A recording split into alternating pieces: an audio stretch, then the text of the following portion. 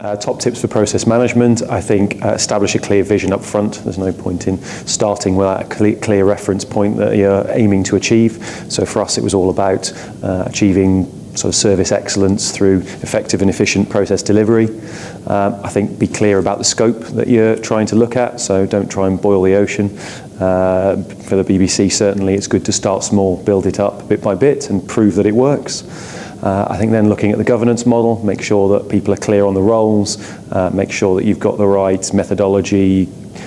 uh, standards, the, the wrapper that you need around it to get a kind of uh, the quality of outcome that, that you want to achieve as you set out in your vision.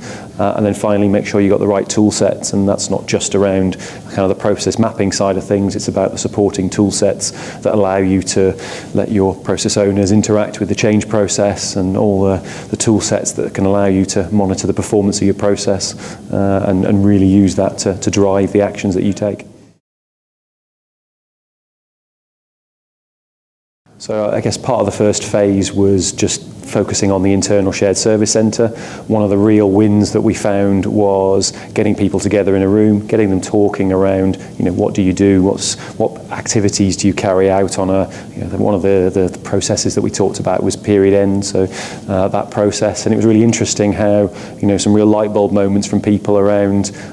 oh right, you do that at that point in the month, well I actually do it at that, you know, an earlier point in the month, oh, do you know what, actually, it'd be quite good if I did it. At that point, I could get all of these extra benefits. So, you know, there was not only the, the value from a capture, what do you do, so kind of re, repositioning our process baseline, but for the people who are in the room and engaging in the process, they got value out of talking to their colleagues around how they executed process and were able to take time out of their day to, to do that.